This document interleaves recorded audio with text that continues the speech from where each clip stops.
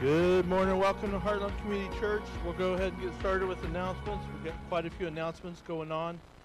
So, real quick, if you have lost women, if you've lost your cell phone, we found a cell phone in the women's restroom. If you did lose your cell phone, it's in the sound booth. Please contact one of us and we'll uh, get you your cell phone back. It was found this morning. So, uh, connection cards, uh, we encourage you to fill those out. There's a card in front of you. It's for if you're new here visiting or if you have any changes, uh, email changes, address changes, we'd like to have you fill that out so we can get you the proper information for the church. Prayers, prayer requests, if you have any prayers requests, we encourage you to fill them out or email us. We'd like to pray for you. I will tell you the prayer request came out last night about um, Candy Murphy's dad. It wasn't as bad as what they thought.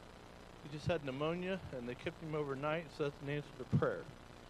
Um, marriage Bible study is uh, tonight um, at 6:30.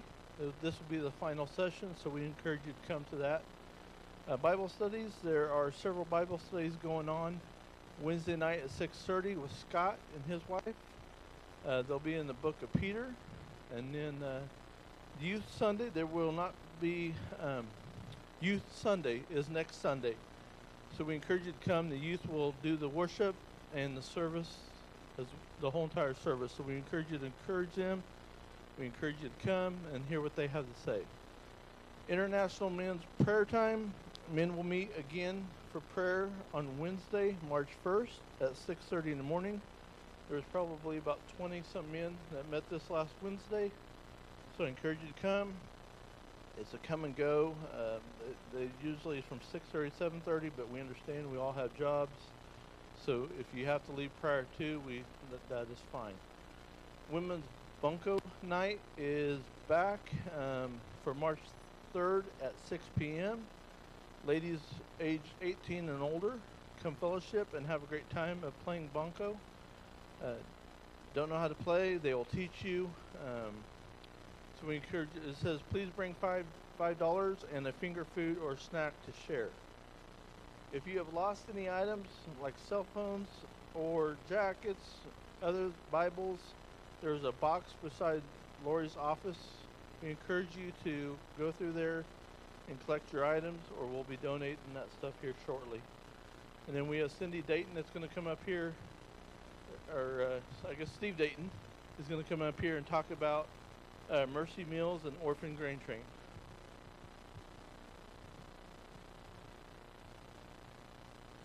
Thank you, Steve. I'm Steve Dayton. My latest claim to fame is I'm the husband of Cindy Warner. Uh, she was supposed to uh, be here this morning to talk to you about uh, her latest project. Uh, this was an opportunity for her to spend a four-day weekend in Colby with her mother.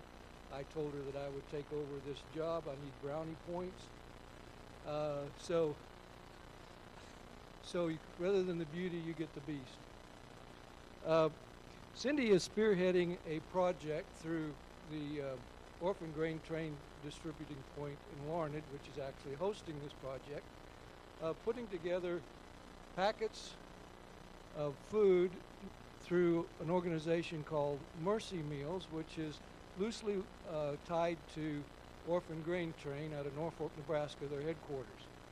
Um, Orphan Grain Train delivers, collects and delivers food, medical equipment, clothing, various types of things to uh, disaster areas and poverty-stricken areas around the world.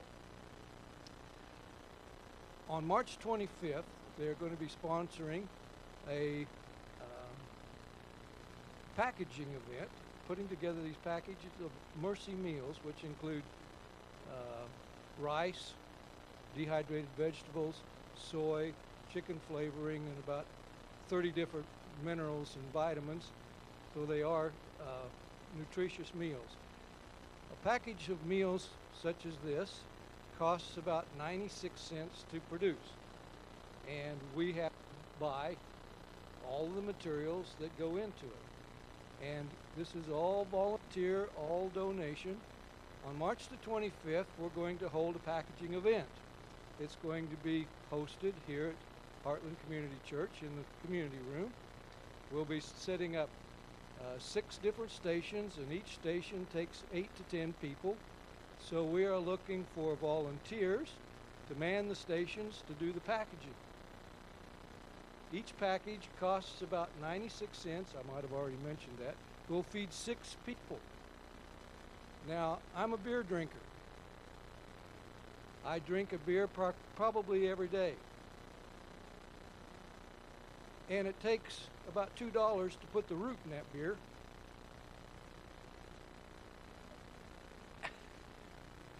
And that $2 will put together a meal that'll feed 12 people. Each one of these packets will feed six people, six meals. Um, so, if you uh, need more information about that, would like to volunteer, would like to donate, all of the money that we collect, we have to have about $8,500 to be able to package a little over, well, 8,333 meals or packages, which represent about 50,000 meals. Orphan Grain Train has, up to date, fed four and a half million meals through Mercy Meals. And so, for a relatively small organization, they're very, very active. Um, I believe that one of the members here, Becky Vanderhoof, she here? Back in the back. She's a regular volunteer at the distribute at the collection station in Larned, and she can tell you more about it than I can, I'm sure. So, if you have any questions, would like to volunteer, would like to set up donations, I will be at the uh, welcome desk after the service. And I noticed that Laurie has put together uh, a little display out there as well with uh, uh, the uh, sign up sheets for volunteers. Not only do we need volunteers to actually be on a team to package the meals, and the team will be there for about an hour and a half. Our sessions are 9, 11, 1, 3, and 5. And so each team will be at a station for about an hour and a half. And then when that team leaves, new team comes in. That gives us about a 30-minute transition point, so we can we can train the new team right quick. Um, teams can be made up of anybody. Uh, we're, uh, suggested that if we have children on the team, that they be supervised and be probably at least 10 years old. But they can certainly do this project as well. Other types of volunteers we're going to need are individuals that might be willing to help to unload and set up uh, Friday evening, the 24th, uh, prior to the packaging event on Saturday, the 25th. And then at the end of our last session, which would be about uh, 6 o'clock, then we're going to load this back up on the truck so it can be taken back to Norfolk, Nebraska and put in their uh, distribution uh, section for distribution around the world. So if you have any questions concerning that, I will be available. Uh, if you have any questions about Orphan Grain Train, Becky can tell you all about it, I'm sure. Uh, so whatever interest or that you have in serving this all volunteer project, we would be happy to to uh, uh, include you. As you know, this is this is part of uh, God's work in the world, and we need to step up do God's work. Thank you very much.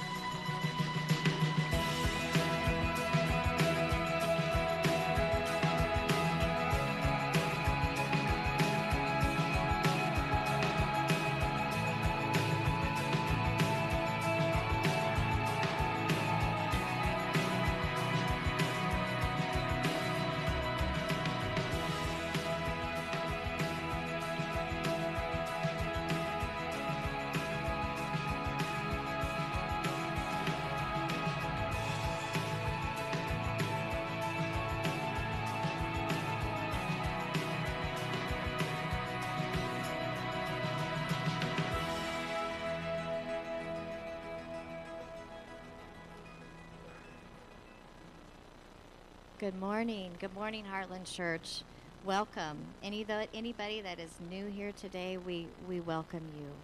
Uh, it is not a coincidence that you are here. God ordains all of our steps, and there's no such thing as coincidence. So we hope you feel loved and welcomed, and and what an honor it is for all of us that have been here just to join again together and just to worship the Lord. I ask you to stand and just look around the room and and just give a shout out to who's going to be worshiping right beside you this morning. It is an honor to come into your presence, Father. We just thank you, Lord.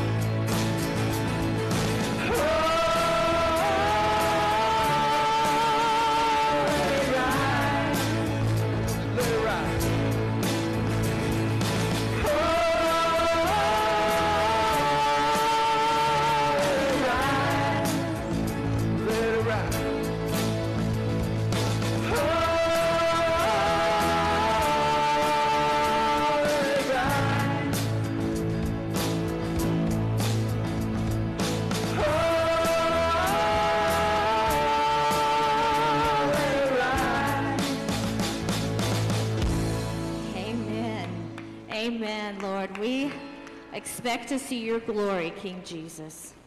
Thank you, Father. Before this next song, I've had a song going through my head all last week. Does anybody ever have that happen where it just you go to bed and it's there and you wake up and it's there and all day long and and it was this next song and it's called I've Got a River of Life. And um, Virginia sings this song so beautifully and I, I called her and I said, V, will you will you sing this song for us? And she was gracious. She said, Sure, I'd love to. But before we sing it, I just I just thought, you know, when God does that, I thought I really need to dig in deeper and see what He's trying to tell me. Um, and let me find my notes here, but the song goes, I've got a river of life flowing out of me. And then in the chorus it says, Spring up a well within my soul. And that song's talking about the Holy Spirit that lives inside of us.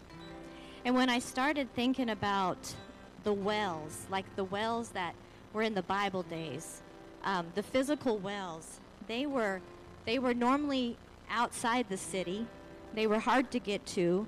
There was often a lot of strife that went around that. And if you were a stranger, you had to ask for permission to drink of the well.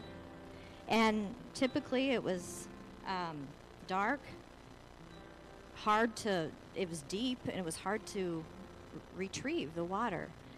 And so then I started thinking about the living water that's, that's in me, the Holy Spirit that the Lord gave us. Um, it's unlimited. It's, ex- it's unexhaustible. It's, it's free. Um, it's not affected by the time or the season that we're living in. It. It's not really affected by the things that are shaken in this world.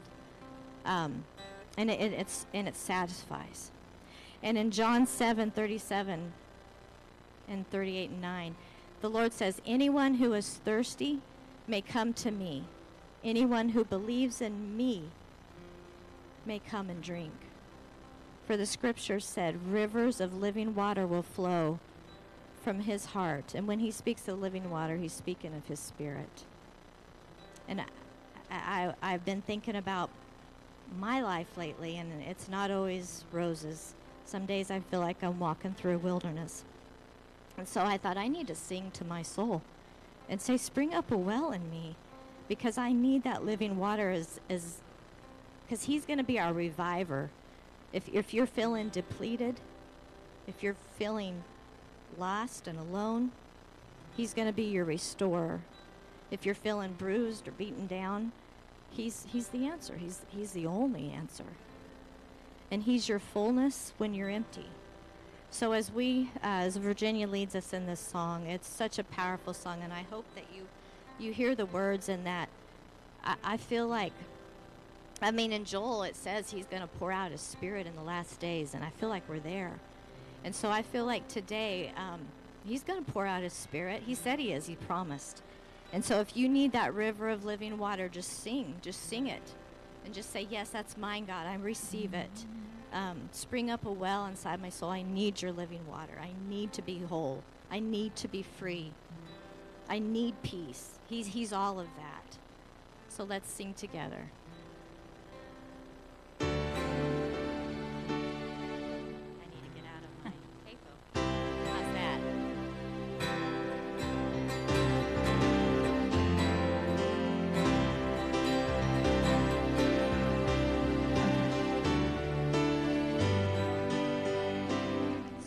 Start off. I think I can't hear up here. Okay. I'm going to turn my pack up.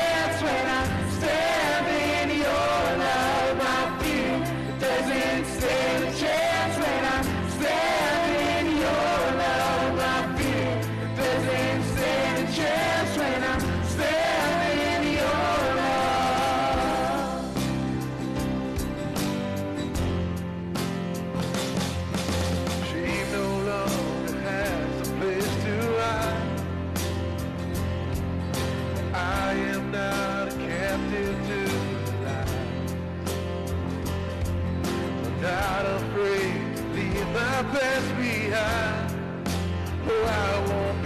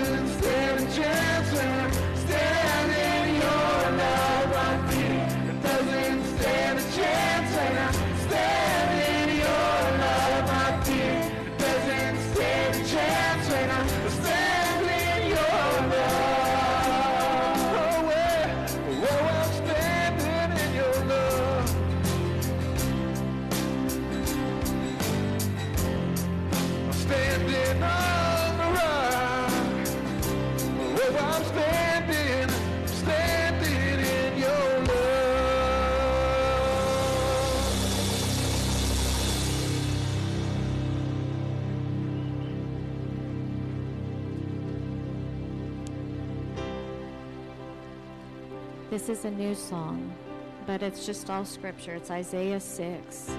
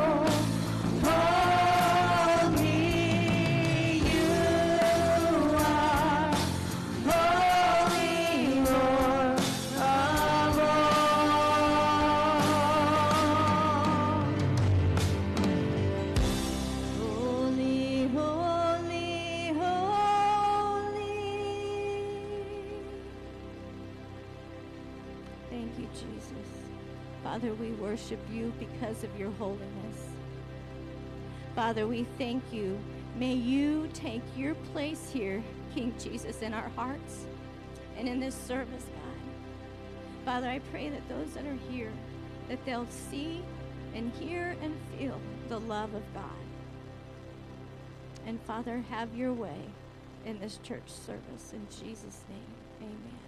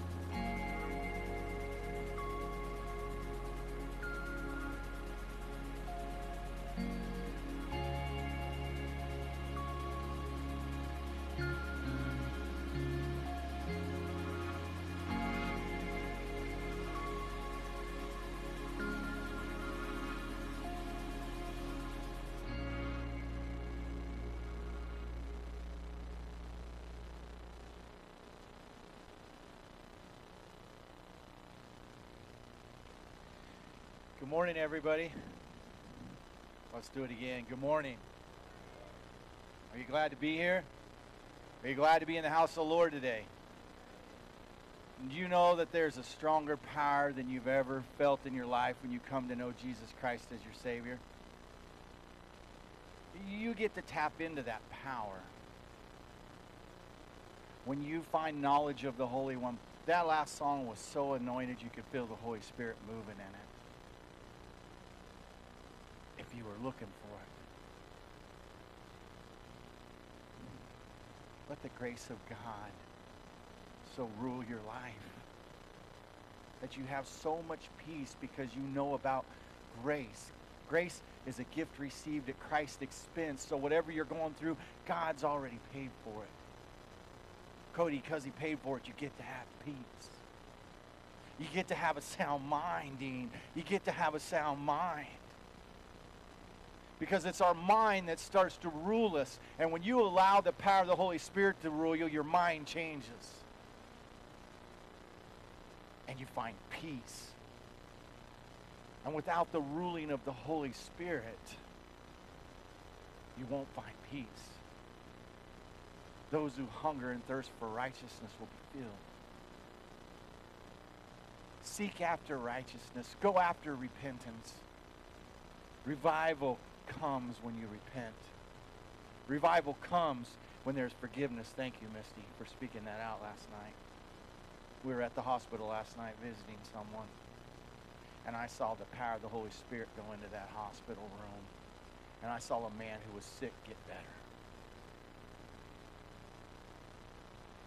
But I went in with compassion and expectancy, and I wept and I cried before I went in because said, God, not this time. This man's not going anywhere. And the Holy Spirit came into agreement with me.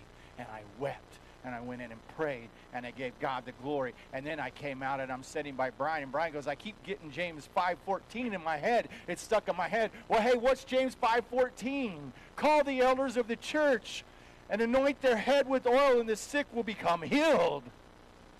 And so you know what we did? Brian and I went back in. I'm glad you brought the oil, Misty. And we anointed his head with oil.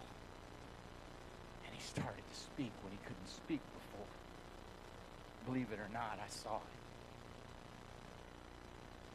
But the Holy Spirit, the title of today's sermon is A God That's Stirring. A stirring God. And I saw the Spirit start to dwell up in you, Brian. I started to move and it started to get me excited. And then he gave you that verse. And we couldn't remember what it was till we opened the scripture go, oh my goodness.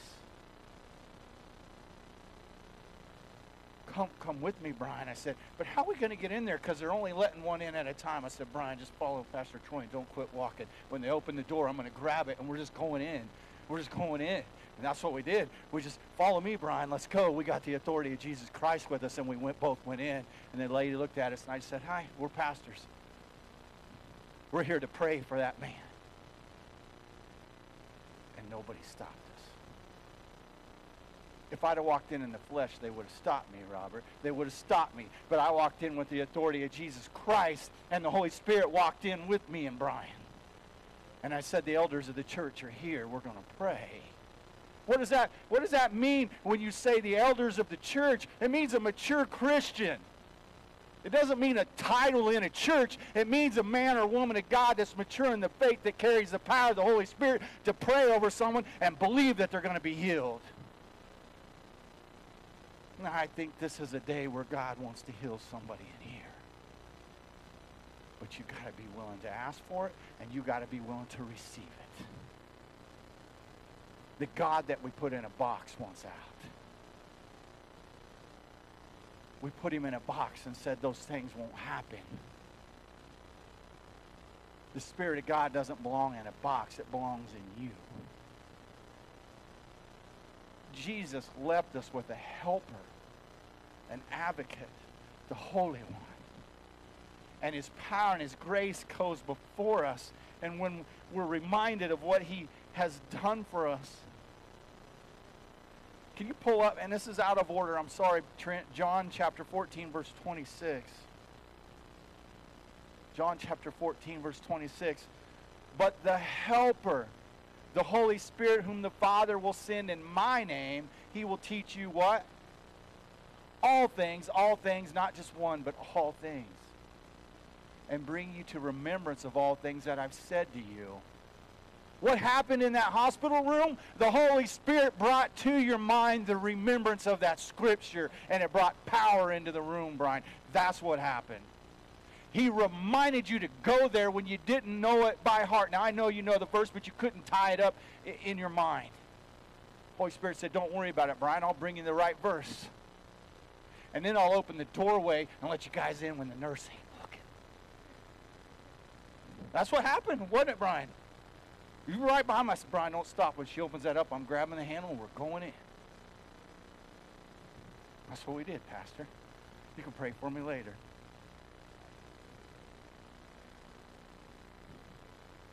Guys, God ordains those moments. He ordains them. And when you walk in with belief in the power of the Holy Spirit, people become healed. Listen, John chapter 14, verse 26, that was the introduction to the disciples of the Holy Spirit. Jesus was said here, you guys, I want to tell you about the Holy Spirit because I'm not going to be here, Jesus said. I'm, I'm leaving in the physical sense, and, and physically we didn't get to walk with Jesus. We didn't get to touch him like they did. But we believe because of what Scripture says. But the Holy Spirit is already living in us. Well, the disciples, this is something very new to them. They got to walk with Jesus. They got to talk with Jesus. They got to hug Jesus. They got to talk to him. And Jesus knew that they were doomed if he didn't send them a helper. And then he said, When I'm gone, everything I taught you, boys, the Holy Spirit's going to remind you of. The Holy Spirit is in everywhere, every place, and every heart at one time. Now, I don't want to put limitations on Jesus, but when Jesus was here, he walked from town to town. He was in one town at a time. The Holy Spirit is right here today. The Holy Spirit is in any church that is preaching the true gospel of Jesus Christ, that he died on the cross for your sins, and he was resurrected. So you get that helper in what you're going through today to give you a remembrance of the wisdom of what Scripture says. Jesus said that if you, not James, the book of James says that if you ask for wisdom, it says God gives without fault. You receive it if you're not double minded. That word fault blows me away. What, it, what its meaning is that, is that God doesn't look at your past and your mistakes and says, No, I'm not going to give you wisdom. If you believe and ask for wisdom, you receive it without fault. It's free. You get it. You know the best decisions I ever made was when I was walking in the Holy Spirit? You know the best business decisions I ever made is when I was walking in the Holy Spirit. You know the worst ones I ever made that cost me a lot of money is when I wasn't walking in the Holy Spirit because God didn't tell me to do it. You mean to tell me right there in your office, Dave, or out there digging a trench, the Holy Spirit can tell you how to do it? He can tell you where the pipe is in the ground so you don't hit it, the electrical line? All you got to do is pray and ask because He knows. But too many times our prayer and our Holy Spirit is the last thing that we ask for. I heard Graham Cooke say this one time. It was so funny.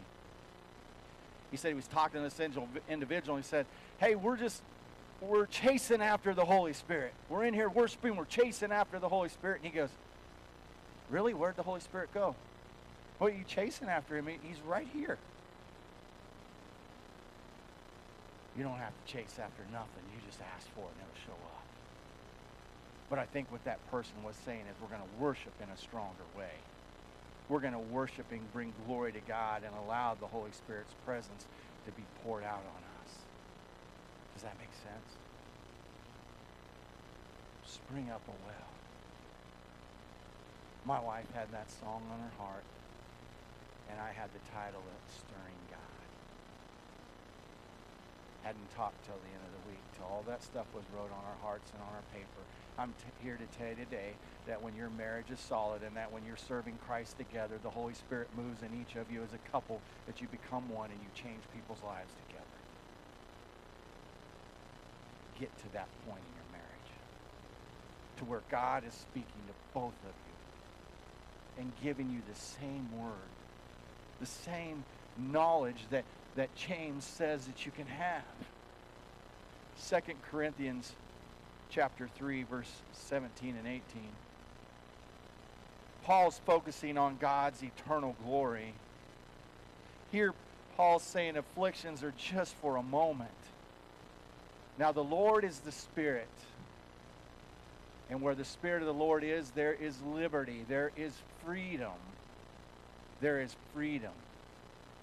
But we all, with an unveiled face, beholding as in a mirror the glory of the Lord, are being transformed into the same image from glory to glory just by the Spirit of the Lord. An unveiled face. When you look at someone, sometimes their face is glowing because they're flowing in the power of the Holy Spirit, and you know God's presence is on them. People's faces change all the time. I was riding in a truck this week with Brett. some of you guys know Brett. And him and I love to have conversations while we're at work about the Lord. And one day he just looked over at me in the truck and he said, Troy, your countenance has changed in your face today. And I said, Wow, is it that obvious? I was full of the joy of the Lord. The day before wasn't so good, but the day after was great. And he could tell the difference just by the way my face looked. See, there's something different about you when you understand that God gives you a peace which surpasses all understanding, and that the things that often shake us shouldn't shake us because we just, guys, we don't answer to man, we answer to God.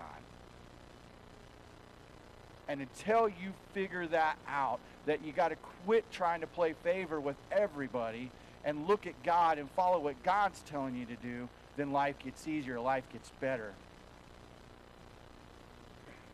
And nothing can change eternity in your life except your relationship with Jesus Christ. And when that's right, you should have peace because nothing else matters. Can you pull that back up, Corinthians, that chapter, verse 17? Is that possible? I want everybody to say that verse. Now the Lord is the Spirit. And where the Spirit of the Lord is, there is liberty. Liberty. There's freedom. When you're walking in the Spirit of the Lord, you get freedom from your circumstance. You have freedom to worship in a different way when you know the Holy Spirit.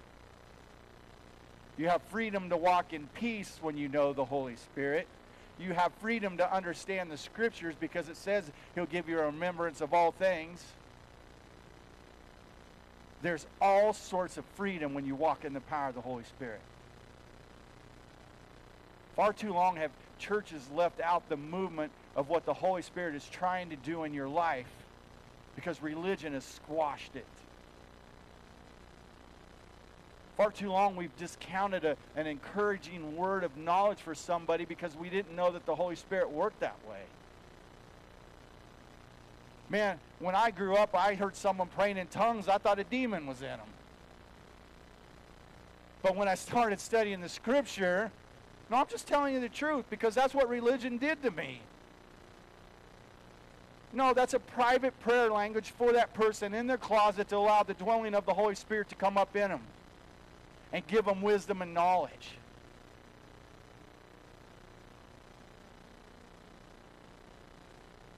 Sometimes it's misused.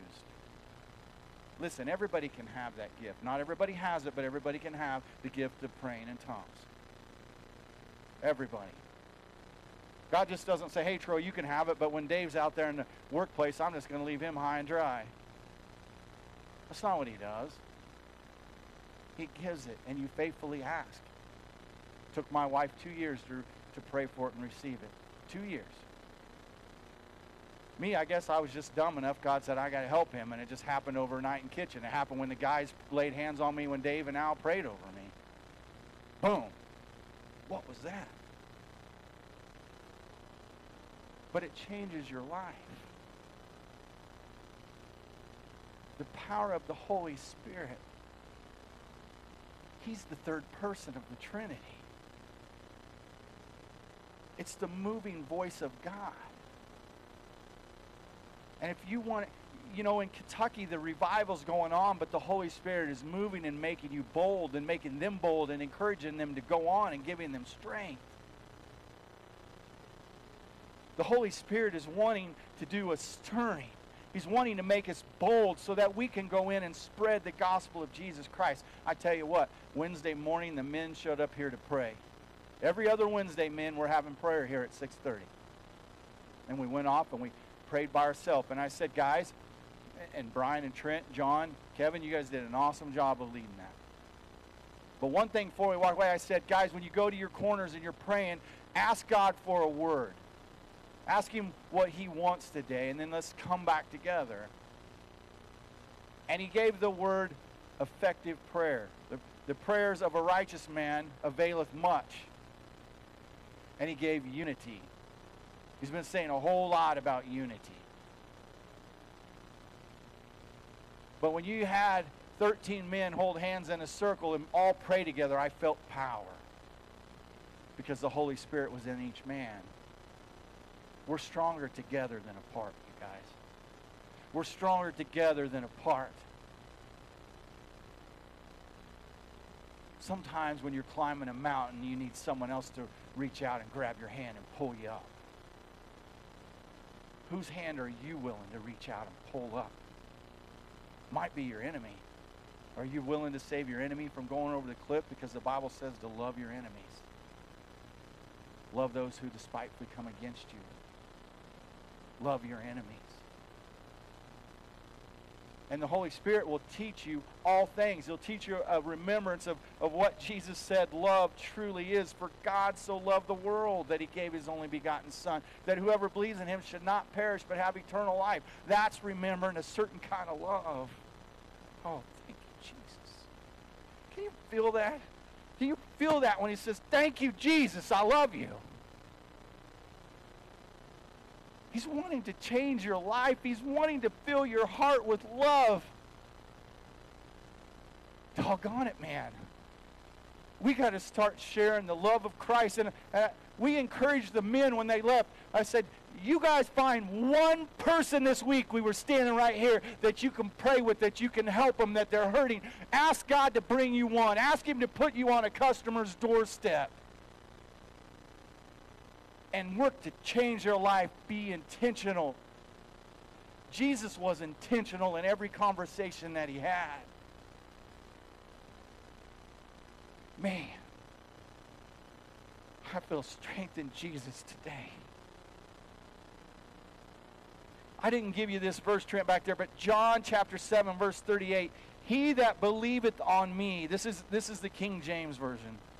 As the scripture hath said, out of his belly shall flow rivers of living water. Where's the Holy Spirit in that verse? Chapter 7, verse 38 the Holy Spirit lives in your belly, rivers of living water. When you're praying in tongues, it starts to build up in you, it starts to flow up in you. When you're praying and believing in Christ and talking about His love, it comes from your belly, not your mind. Make decisions from your gut. I heard Jentezen Franklin say one time in his sermon, he said, God has that, he's like a moth that still small voice behind your ear, your conscience, and out of your belly. He sends a gentle moth to speak to you the first time. And he's just whispering wisdom in your ear. He's whispering the Holy Spirit's whispering in your ear. But you don't listen because you're busy. Or you're watching too much TV. So then the second time he sends the eagle, and the eagle takes his claws and grips into your shoulders a little bit. You start to have a little bit of pain. A circumstance comes into your life, but God uses it. There's a little bit of pain. You're not listening, but the eagle grabs a hold. And when you don't hear the voice of the Holy Spirit through the eagle, he sends the lion. And when the lion grabs a hold of you, you better be listening. And when you don't listen to the lion, there's nothing else. Nothing else he can do for you. But the prayers of a righteous man availeth not a lot. God's telling us that our prayers change things. And I'm asking you guys to listen to what the Lord's saying. He's wanting to introduce you to the Holy Spirit, who the Holy Spirit is. And when you have the Holy Spirit comes on you, he tells you what to pray over somebody. He tells you what decision to make. And he moves you into a hospital room when only he could do it. God has a whole different set of rules when it comes to the Holy Spirit. He changes the atmosphere. Romans chapter 15, verse 13, a spiritual hope. Now may the God of hope fill you with all joy and peace in believing that you may abound in hope by the power of what? You get your power from the Holy Spirit. And when you come to know Jesus Christ, when you've asked Jesus Christ as your Savior, you get the Holy Spirit. And the Holy Spirit is always working in your life, but it works a whole lot better when you know this. Tracy Cook said it best. He said, I serve a talking God with a talking book. Did you hear that? This we have a talking God with a talking book. I've never forgot it when I heard him say that. Do you love his word? Do you know his word?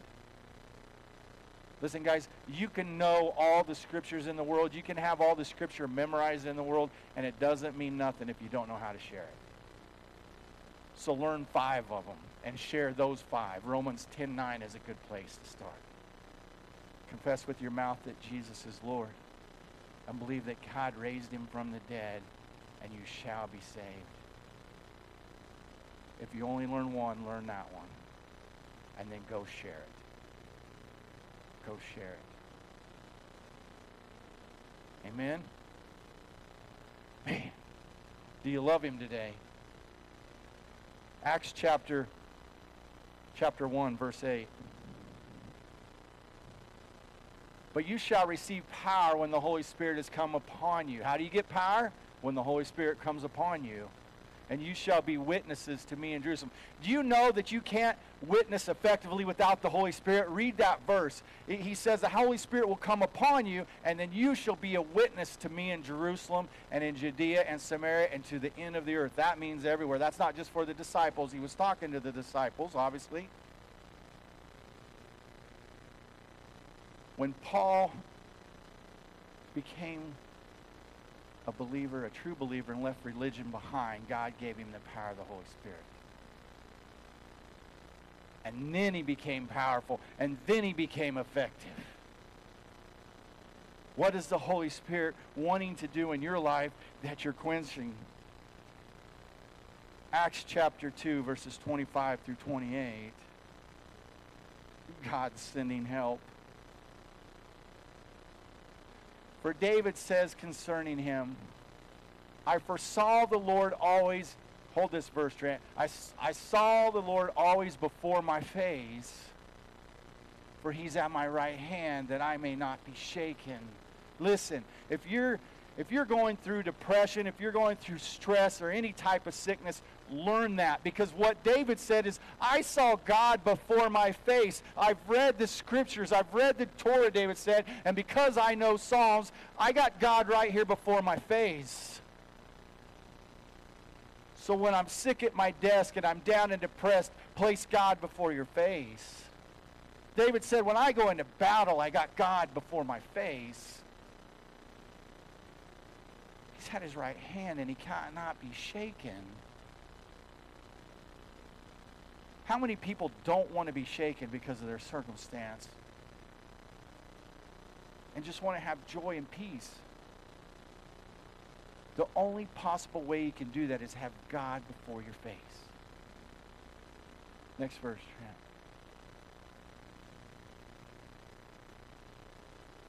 Therefore, my heart rejoiced and my tongue was glad.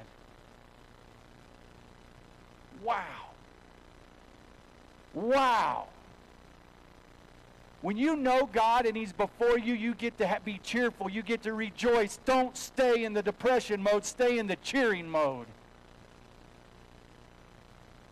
You get to rejoice. And David rejoiced before he went into battle. They blew the trumpets and he worshiped I promise you, before he went to battle. And he seeked the Lord on the battle and how to fight the battle. Someone needs to hear that. Someone needs to hear that. That when you seek the Lord and you move into him, you rejoice. And he tells you how to fight your sickness. He tells you how to fight your circumstance. He tells you how to fight your battle. Somebody needs to receive that. Because there's a battle that that's raging in your mind and it's not true. It's not bigger than your God. It's not bigger than your God. Be free, my sister. Be free.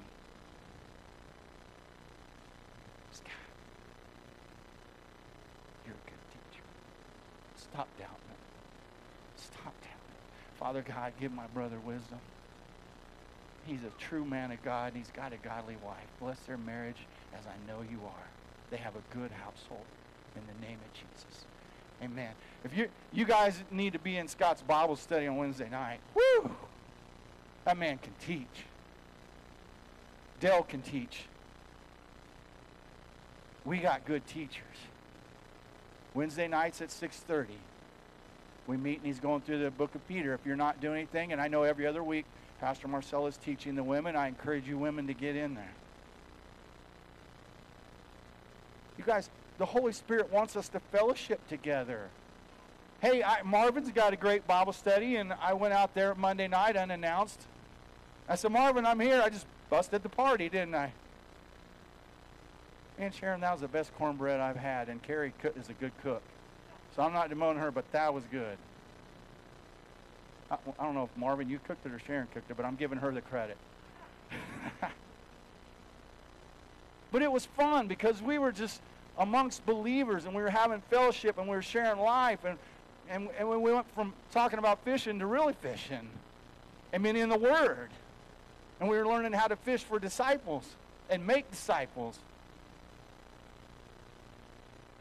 See, when you share life together, you get to talk about lots of things. You get to laugh and you get to build one another up. Therefore, my heart rejoiced and my tongue was glad. Moreover, my flesh also will rest in hope. God wants you to rest in the hope of your salvation. At David's low, he said, Let me enter into the joy of your salvation. I say that all the time when I'm down. God, if you'll just bring me back to the joy of your salvation. Bring me back to that joy. Because that's where the hope is, Jim. That's where the hope is. You get to live in that, Stacy. The hope. The joy. Who doesn't want hope? Who doesn't want joy? I do. I want it all. Whatever God has, I want that.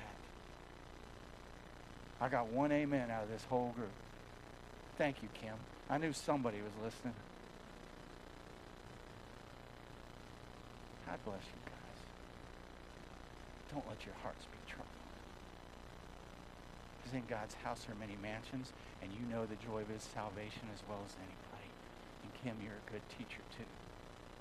And Dwayne, you're faithful. You are a faithful man. And I saw it in your workplace. If you're looking, God shows you. Encouraging people that come into your lives and change people's lives. They're about changing people's lives. Acts chapter 4, verse 31. And when they had prayed, the place where they were assembled together was shaken. And they all were filled with the Holy Spirit. And they spoke the word of God with what? That's where that other verse was back there. You they didn't become a witness till they had the Holy Spirit because they weren't going to be bold enough.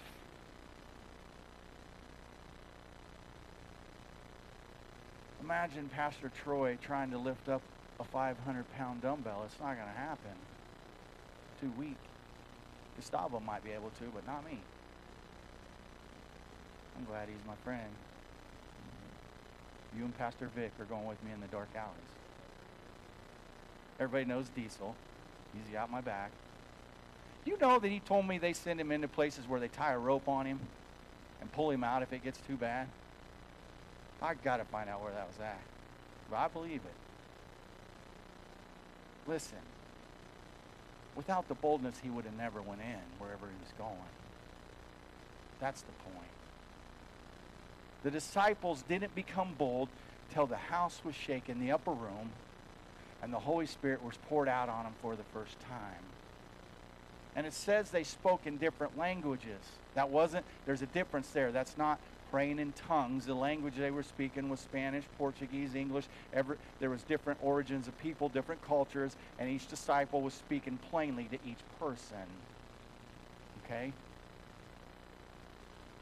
But the point is today that I believe God's wanting to pour out his spirit. And he said in the book of Joel, in the end times, I will pour out my spirit on all people. And that we would prophesy and dream dreams. That we would prophesy and dream dreams. I want to share something with you that it's just a word picture. Because we always have, you're not supposed to share every dream that God gives you pray into it or pray for what he shows you. And if he releases you to do that, then do it. But this is just a word picture I'm, I'm sharing with you guys. So, Carrie and I were at the hospital last night. Brian and Misty, all you guys were there. We got home late, so I just went in the house. I forgot to lock my chickens up. Now, anybody that knows about chickens, they go back in the shed by themselves. You don't have to herd them in like cows. They just go in. But the door was open and I live right on the creek. Lions and tigers and bears, oh my. I mean, they're there. Raccoons. And it's uh, 12 o'clock or a little after. And all of a sudden, I have this dream inside my chicken house that my chickens were partially gone and the raccoons had got them and their heads were eaten off and they were laying there. And it seems real to me in this dream. But I'm still dreaming. I'm like, oh man, something got my chickens, and egg prices are high, and we're handing out eggs, and I just like having my chickens. And I'm right on the creek, and in the dream, I'm standing in the middle of the chicken pen, and here comes a lion up out of the creek. And it's getting ready to leap into the pen where I'm at. And I yell out, ah! And Carrie reach over and starts to pray. And I woke up and I go, oh no, I forgot to lock up the chickens. And it's, Carrie goes, what time is it? I go, like 12.05. She goes, well, that makes sense. And I go running out the door. And all of a sudden, I remember the part about the lion. so I unlock the pin to my German short hair and I go, You go first. and so I go running out there, and the door was open, you guys, but everything was safe. Everything was calm. Now, you guys can, we can say, oh, that wasn't real, but I believe that raccoons or whatever, foxes were coming, and God just showed me in the Holy Spirit that I needed to get up at midnight and go out and lock my chickens up. I said, honey, what if I would have told that dream? My dog's name's Arrow. I said, what if I would have said, hey, Arrow, I had a dream that there's a lion out there. Do you think he would have went? He'd have been like, thank you. But the point is, you guys, that's something small, but it's, it's big when you have animals and you don't want to lose them. God gives discernment with the Holy Spirit. Before the enemy attacks, God speaks by the Holy Spirit most often and shows you a way out or shows you wisdom to walk through the pain, shows you wisdom to walk through the suffering, and He can even save your chickens. Nothing is unimportant to God if it's important to you. Discernment by the power of the Holy Spirit. Old men will dream dreams. I guess I'm old. Whew. God's preaching today. Worship team, will you come forward? Romans 8 26. Likewise, the Spirit also helps us in our weaknesses. For we do not know what we should pray for as we ought. So a, person's weak, they're faint. They're not strong. They're not lifting the, the weights on the bar. It's too much. Life is too much. The weight is on your shoulder and it's bringing you down. But for we, for we do not know what we should pray. We didn't know what we should pray last night, and he gave that verse to anoint the man with oil. We didn't know what to pray, but the Holy Spirit knew what to pray. But the Spirit himself makes intercession. Did he not make intercession last night? For us with groanings. With groanings. That's where the praying in tongues come in when you don't understand what you're saying and you're praying and the Holy Spirit is moving and groaning in you, which cannot be uttered. Does anybody want the power of the Holy Spirit today? Does anybody want a double portion or a triple portion? Then raise your hands with me. Raise your hands high. Act like you mean it. Act like you want it because you're about to receive something. And it's not a. Father God, in the name of Jesus Christ, I pray over your church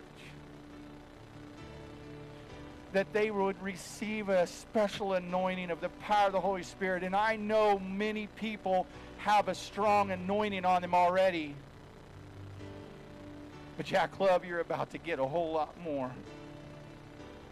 A whole lot more, my friend. So, Jesus, send your Holy Spirit and do a shaking here, just like you're doing in Kentucky. And allow that double portion now to come on them. Give it to them now, Jesus. Amen. Receive it. Ask for it.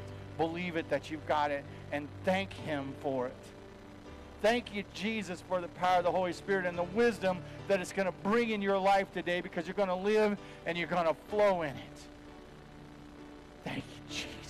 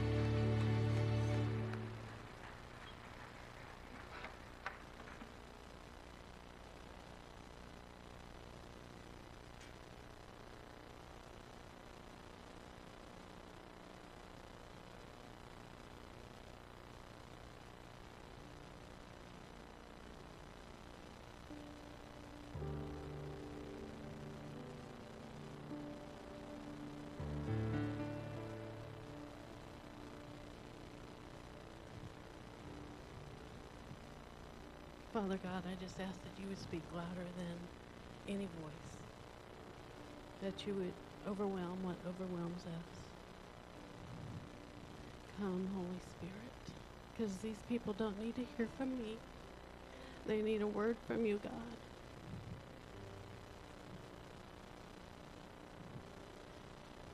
So if I had to title this, I would say, Step Into. And it goes right along with what Troy was saying. God is stirring. He wants us to step into something.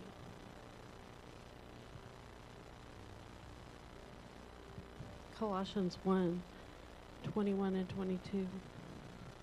And you who were alienated and enemies in your mind by wicked works, yet now he has reconciled in the body of his flesh through death to present you holy and blameless and above reproach in his sight. If indeed you continue in the faith, grounded and steadfast, not moved away from the gospel.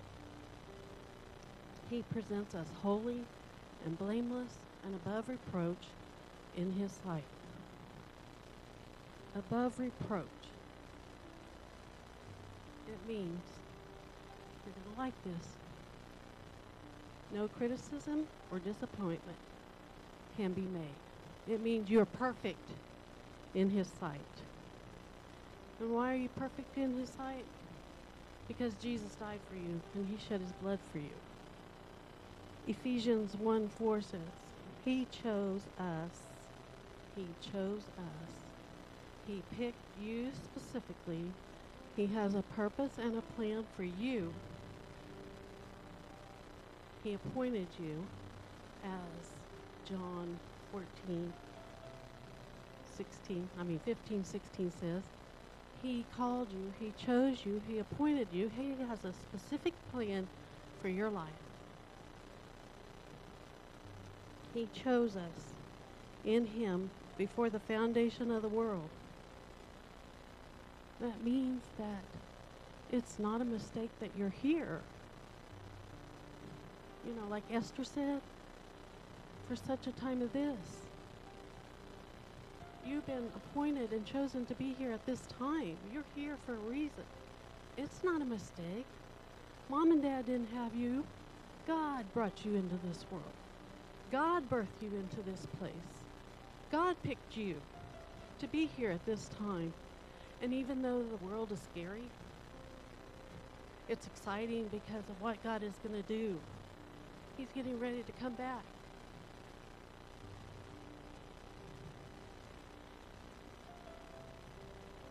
He chose us in Him before the foundation of the world that we should be holy and without blame.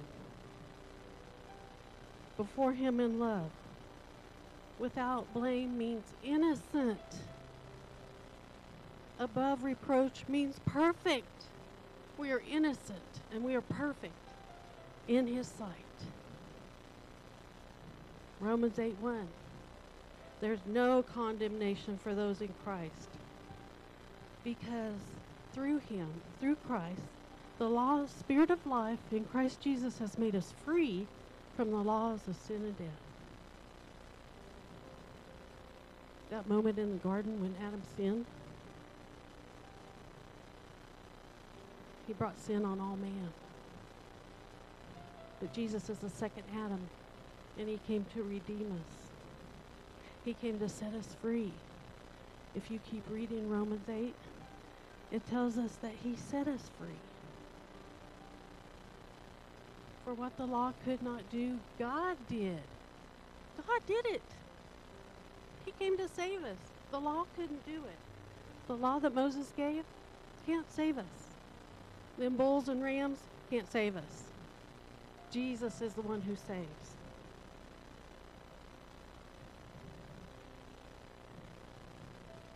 Exodus 26 describes the veil. So in the temple there was a courtyard, you could say that's the foyer. There was a holy place where the priests did their daily activities. And then behind the veil was the Holy of Holies, where God dwelt. He lived there. And so Exodus will explain all this to you. It tells you how they made the curtain, the veil, to separate the holy place from the Holy of Holies. This thing was like four inches thick, some people say. That's a thick curtain. Matthew 27. Jesus cried with a loud voice and yielded up his spirit. And behold, the veil of the temple was torn in two from top to the bottom.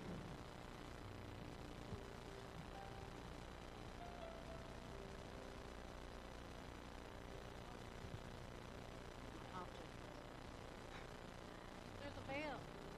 There's a veil separating us between the Holy of Holies and the holy place. It was torn in two, a four inch thick veil, ripped in two. And you know what that did? It allows me access to the throne. It allows me access to the Father. It allows me to step into what God has called me to do. Are you ready to step into what God has called you to? Are you ready to step into your position as a king, kid? Are you ready to step into? Are you ready to step into? Are you ready? Step into. Come on. Step into the Holy of Holies. Let's go to the Holy of Holies where your identity is, where your freedom is, where your healing is. You step through the veil into the Holy of Holies where there's freedom, where there's peace, where there's love, where there's joy, where there's everything that you need. And you don't do it on your own because the only way to the Father is as Troy's favorite verse is, John 14, 6. The only way to the Father is through the Son. When we step through that veil, when we step into the body and blood of Jesus, we step into the presence of God. We step into His glory. we step into Him. Come on, you guys. Step into what God has for you. Step into. Step into your authority. Step into your righteousness. Step into. Step into what He has for you. You have to come. I can't do it for you. Your neighbor can't do it for you. Your husband, your wife can't do it for you. You have to do it yourself. You have to take that step. Step into what God has called you. Step into.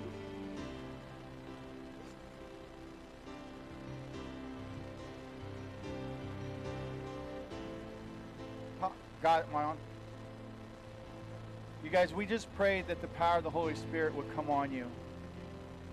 And I believe this is the first step of even that happening more.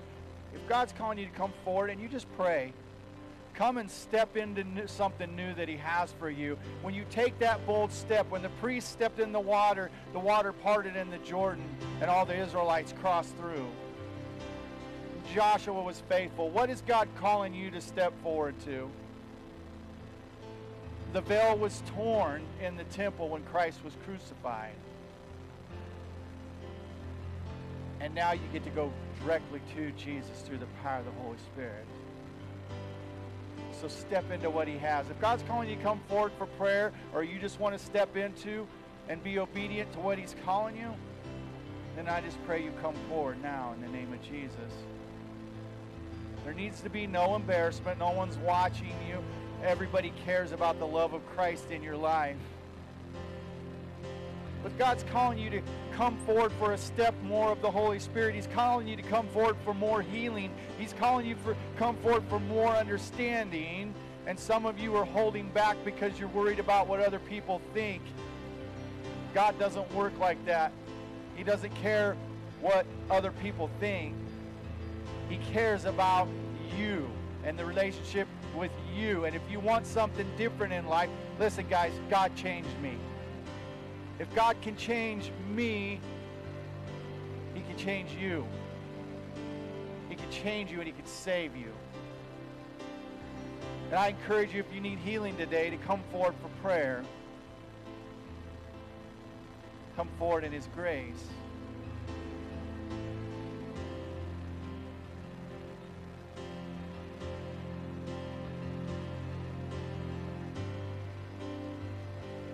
Search your heart. Search your heart. And don't tell him no where the Holy Spirit. Some of you are being nudged right now, and you're like, I don't know if that's real. Let me tell you, it's real. If you're having a single thought of coming forward, that's the Holy Spirit. That's how he works. That's how he brings anointing. Don't fight it. But what you're doing is coming forward for healing. What you're doing is coming forward for grace. What you're doing is coming forward to say, I'm making my God bigger than my own pride. Pride keeps you right where you're at. Pride keeps you right where you're at. I can't force you. I can't make you. But if God's prompting you, maybe he's not, but if he is, come forward. Because when you want to receive more, he wants to give you more. If you want changes in your life, if you've been praying about a sickness, if you've been praying about a job, if you've been praying about hurt, come forward. Because God likes action, because action is faith. Faith in action changes things. Changes things. Maybe God's saying, well, why don't you come forward for your grandchildren? Why don't you come forward for your children and intercede for them? Maybe someone in your family needs healing.